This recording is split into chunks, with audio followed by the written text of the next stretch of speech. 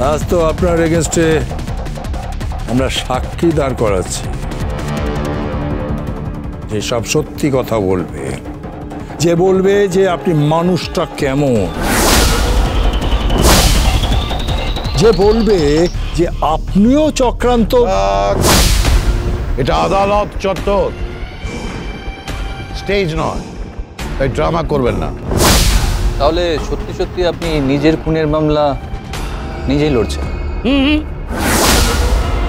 তোমার বিরুদ্ধে কি লড়বো এ? আমার মাথা খারাপ নাকি? আরে মানুষের স্ট্যান্ডার্ড আছে। তাই না? স্ট্যান্ডার্ড তোমার বিরুদ্ধে কি লড়ব?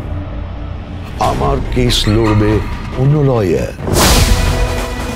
অন্য লয়ার থাকবে আজকে। কে?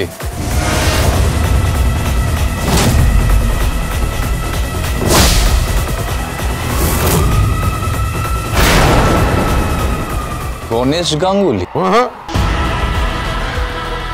অ্যাডভোকেট গণেশ গাঙ্গুলি।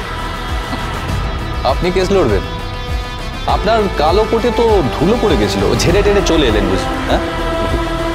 তা আপনি কি ওই অ্যাডভোকেট অগ্নিজিৎ মুখার্জির জুনিয়র হচ্ছেন নাকি?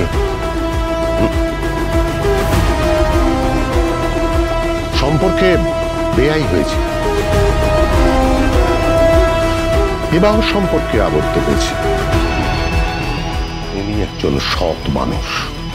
And it is my duty হ্যাঁ? উনি সৎ মানুষ। সৎ। সৎ মানুষ। একটু পরেই পুলিশ কেস ডায়েরি নিয়ে এখানে আসবে। সবচেয়ে বড় সাক্ষীকে দাঁড় করাবে। সবচেয়ে বড় সাক্ষীকে।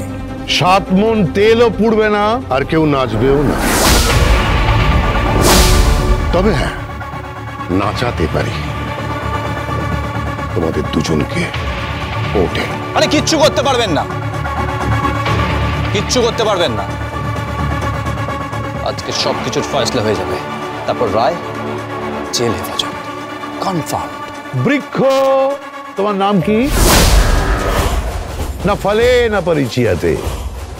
বড় বড় ভাষণ না দিয়ে যাও, কোর্টে গিয়ে আইনের বইয়ের পাতা উল্টাও। বাকি কথা কোর্টে হবে। চলুন, অ্যাডভোকেট গাঙ্গুলি।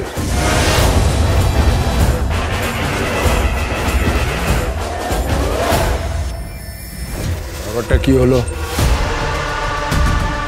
কিসের বেসিসে ওরা লড়াই চালাচ্ছে? কিছুই তো বুঝতে পারছি না। আর গীতাই বা কোথায়? আমি কিচ্ছু বুঝতে পারছি না। এখনও কেস ডায়েরি এসে পৌঁছলো না। ওই পঙ্কজবাবু এখন এসে পৌঁছয়নি।